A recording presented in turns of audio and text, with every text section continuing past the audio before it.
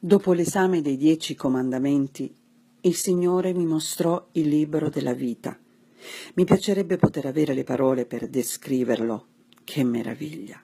Vediamo tutta la nostra vita, le nostre azioni e le loro conseguenze, buone o cattive che siano, su noi e sugli altri, i nostri sentimenti e pensieri e quelli degli altri. Tutto, come in un film. Comincia dal momento della fecondazione, vediamo la nostra vita a partire da questo momento e da qui veniamo presi per mano da Dio che ci mostra tutta la nostra esistenza.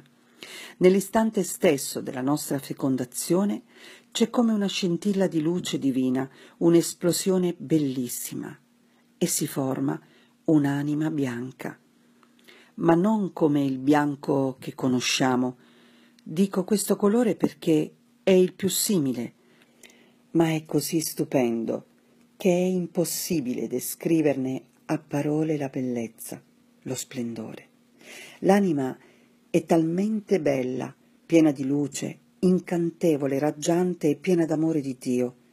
Un amore di Dio impressionante. Non so se avete mai notato come i neonati spesso ridono da soli ed emettono quei suoni e balbettii Sapete? Stanno parlando con Dio. Sì, perché sono immersi nello Spirito Santo.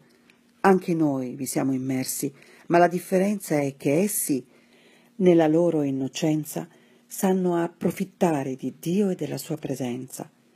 Voi non potete immaginare che cosa meravigliosa fu vedere il momento in cui Dio mi creò nel grembo di mia madre, la mia anima portata nella mano di Dio Padre. Scoprì un Dio Padre così bello, meraviglioso, tenero, premuroso e affettuoso, che ebbe cura di me 24 ore al giorno, che mi amò, mi protesse e sempre venne a cercarmi quando mi allontanavo, con infinita pazienza.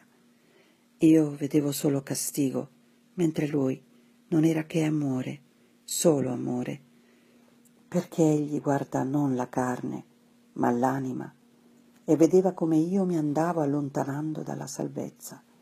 Sapete, mia madre, dopo le prime quattro gravidanze, per sette anni non ebbe figli. In quegli anni era molto turbata a causa della vita di infedeltà di mio padre.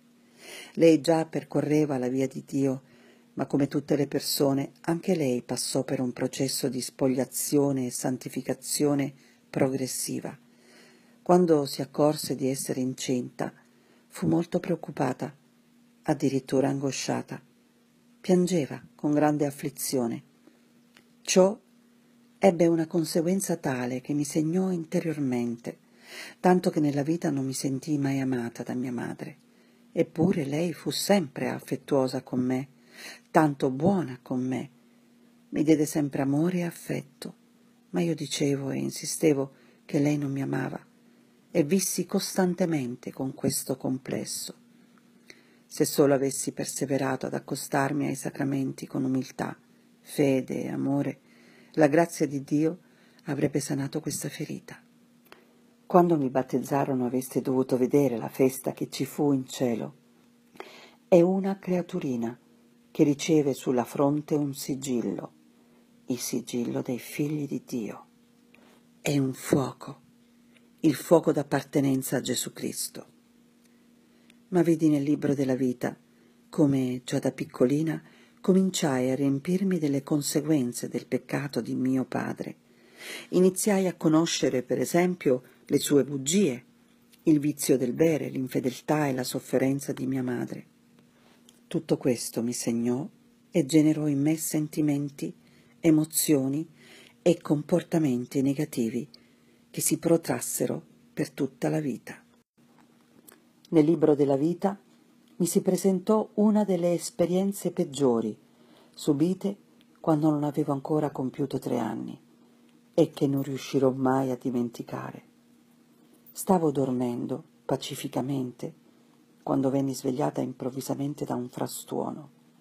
Spaventata aprii gli occhi e vidi i miei fratelli maggiori correre a nascondersi. Uno di loro si nascose dentro il forno e quello prima di me, per età, si mise dietro una porta.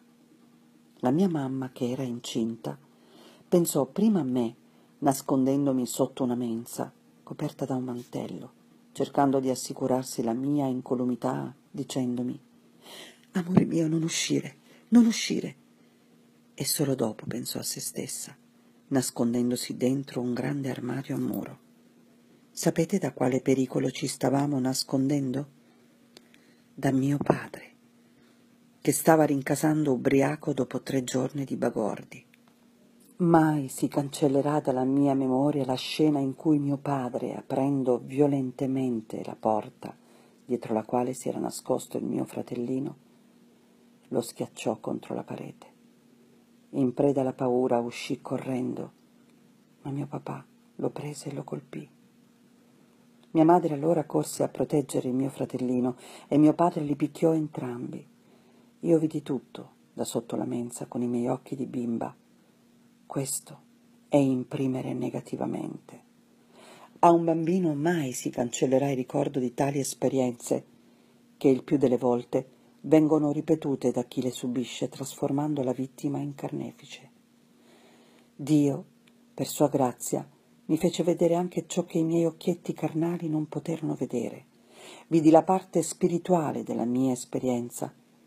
Mio padre era internamente posseduto dal demonio gigante, intrufolatosi in lui approfittando del suo stato di semi-incoscienza dovuto ai fumi dell'alcol.